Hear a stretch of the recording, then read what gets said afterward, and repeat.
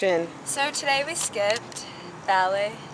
Such rebel. To go to LA! NCABT! We saw Irina Dvorovenko and her, And her husband, Yeah. Maxim Belokovsky. That's what we said during the prom. we said we were in the back seat with no binoculars. No, we had oh, oh, binoculars. oh, We had only binoculars. you. So we all had to share. We shared binoculars. It was a good show. Good show. We And went so- to Mimi's Cafe. Oh, and by the way, this was all for Tweez. And we were right there for And- right next to Disneyland. We didn't go to Disneyland, but Yeah, that's okay. true. It was very we went to Mimi's Cafe Oh, yeah, across the and, street like, from Disneyland. We were Really staring out of the car. No, mostly a lot Milana. People, it was Milana being a Yeah. creep. a lot of people were looking at us. Actually, we did get one really good stare. By these four creepy guys. Oh yeah, and we saw um we saw Dolly Parton's grave. And then I Oh, had we a saw a man bad slash girl in a stomach ache. ponytail. Yeah. Now we're in a parking lot of a ballet studio And we just at did a night. dance. Yeah. Yeah. did a dance. Yeah.